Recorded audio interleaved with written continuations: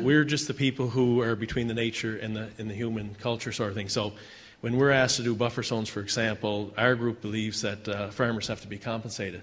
So if there's sensitive areas, um, you know, there's all kinds of regulations that go in place, but even so, there's going to be some sensitive areas that that might not even address. So an example might be if it's a 10 or 15 acre field that's in a sensitive area, maybe you have to pay that farmer a fair, reasonable price per acre per year to put it in a, a less, um, how would I put it, um, a more secure form for a while, maybe take it out of certain crops or something like that. But we can't expect that the farming community uh, take that burden on themselves. If we're, we're farming, but we're looking after the water and the land and the air on behalf of all of us. So we, that's not in our price uh, structure. We're lucky, we, you know, we usually go and say, what will you give us? And those environmental concerns are never, never, ever addressed.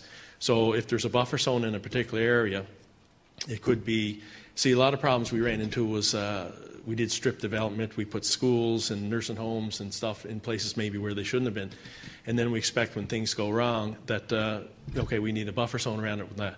What, what happens is those farmers or whatever, or land has to be compensated for the land that they may have to take out. for example, let's say it was a row crop of some kind, and you might be able to put it in hay, but in order for the farmer to look after that, you have to compensate them to, to do that in order to take out those concerns. Um, the buffer zones that we have now, farmers aren't, or landowners, I should say, aren't compensated. It's only through ALURIS the over the 15 meters where they get compensated.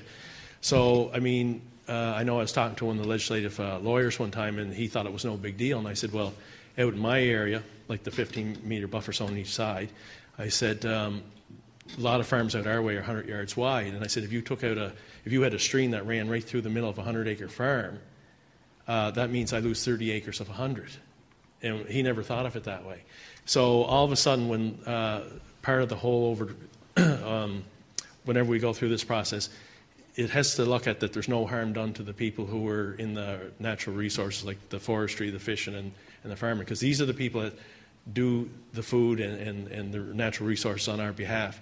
And they can't be expected any more than a doctor to pay for the x ray machine or, or the uh, teacher to you know, buy the blackboards for the school or, or buy the buses.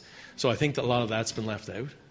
And I think if, if there was, um, I think why you find maybe farmers are hesitant is that we always seem to get the dirty end of the stick where uh, something is done and everyone feels good and goes home, but uh, it's just another uh, financial burden on behalf of the farmers.